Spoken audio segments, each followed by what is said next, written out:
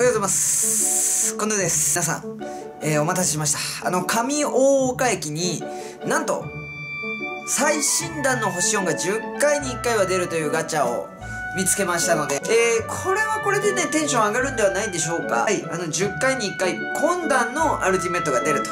まあ、必ずね、多分皆さん10回に1回出るっていうことなんで、10回やってから行くんで、まあ、ただね、あの、本当に、えー良心的なガチャだと思います。はい、まあ、でも今、アルティメット2000円とかに下がってたりするんですけど、その値段に合わせて、えっと、当たる出る回数を10回から8回とか、えー、7回とか9回とかに調整しますっていうことをおっしゃられてましたんで、ショップの方に聞いたらね、うん、上大岡にあります、ゲームステーションさん、まあ、かなり良心的なお店ではないでしょうか。の、まあ、10個行ってブルマが出ると、それがもう勝利の女神らしいです。勝利の女神。で、勝利の女神が出ると何かというと、さらにその10個先には、今度の S1 がいるんだって。えー、そうしましたら、まず1パック目。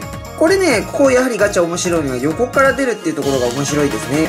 来たのが孫悟空 GT、はるはる、亀仙人、リャのミラと。そうすると2パック目も、はい、こんな感じですね。はずれはこんな感じです。孫悟飯少年期、孫悟飯 GT、はるはる、えー、孫悟空少年期ということですね。はい、レアのビルサ PT 孫悟飯青年期のレアとはこちらトランクス幼年期シュンシュン魔人ブーからの来たのはこの星4です。はいそうです。はい人造人間17号です。人造人間の17号になります。いやーこれ使えますよね。アタッカーにするだけで敵チームのヒーローエナジーをダウンしていくと。はい。えー、こちらともう1枚ねダーブラとかでも出された日にはヒーローエナジー上がらないですよね。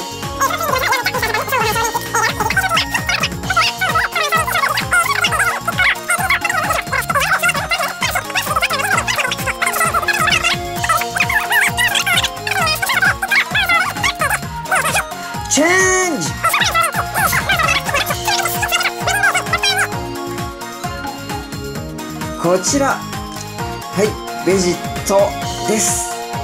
ベジットです。はい。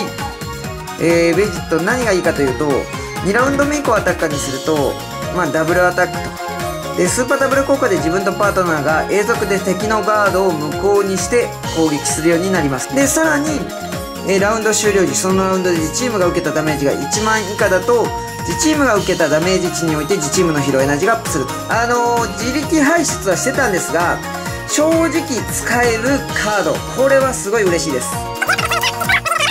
アタックエリアでこれサポーターエリアとかすごい強いと思います。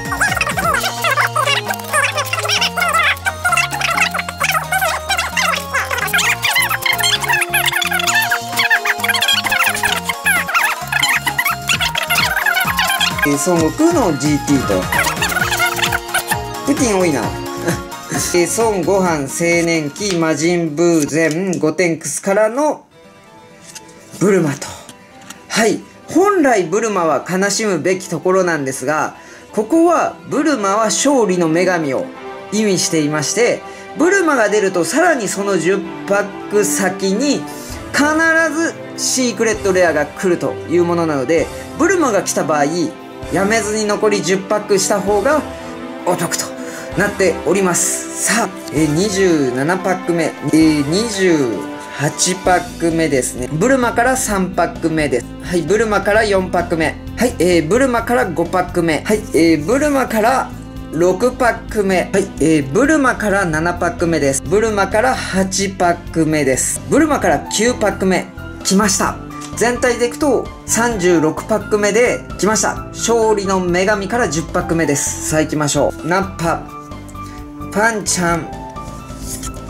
はい、巨悪マンから来た。星4。今弾のシークレットレアは？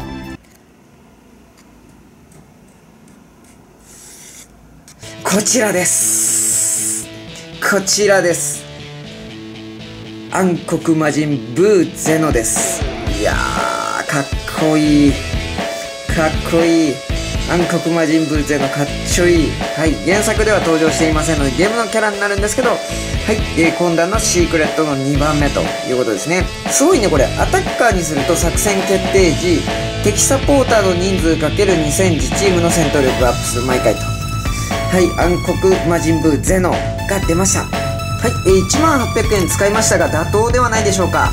このこちら同じところにアルティメット確定のえー、オリパというのが9パック残ってましたのでそちらが空になるまで買ってきました。はい今回はあのお店の店員さん言ってました。当たりと外れが結構まあ勝ち負けが大きく分かれているということを言ってました。この残り物の9個にいいものは出るんでしょうか。はい、えー、皆さんチャンネル登録高評価お願いいたします。どうもチャンネルこのでした。バイバイ。